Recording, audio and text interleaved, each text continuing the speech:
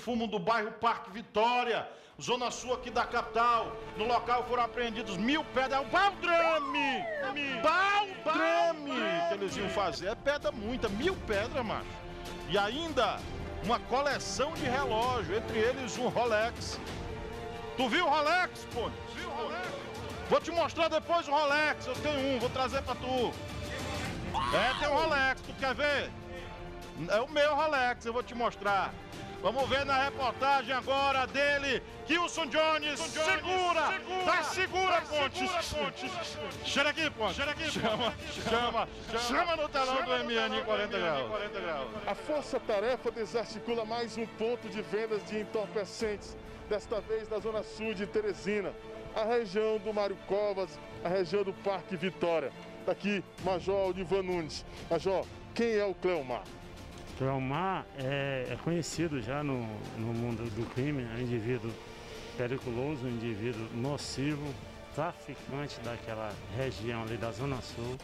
Ele faz parte de uma facção aí, mas hoje nós conseguimos dar um basta nas atividades ilícitas dele, né? Você vê aqui quase mil pedras de crack, né? lá funcionava uma boca de fumo, relógios, tem um relógio aqui, ó, Rolex, esse relógio é caríssimo. Uma coleção de relógios, não? Uma coleção de relógio.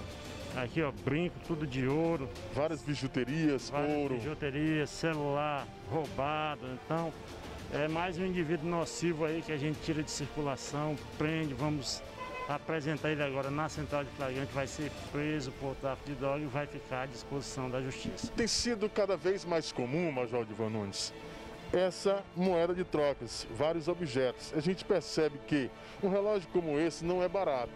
Então a gente percebe que os bacanas na Zona Leste estão indo para os bairros cada vez mais distantes. É, é uma constante, né? Todos os dias a gente está vendo essa situação, a gente está vendo que esses relógios aí são caros.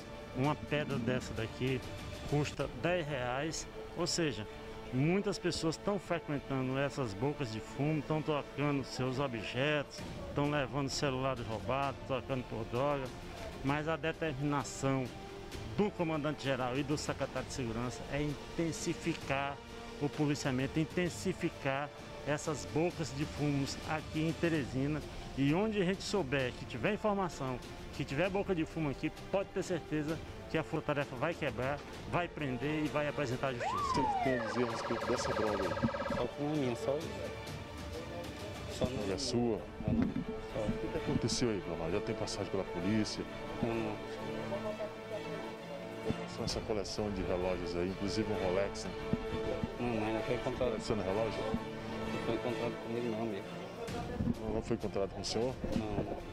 Você não tem passagem pela polícia? Tem não. Sabe que é uma quantidade de, de drogas realmente considerável, muito grande, né? Só guardava. Você só guardava droga? Só. Essa droga de quem? Nem sabe aí, né?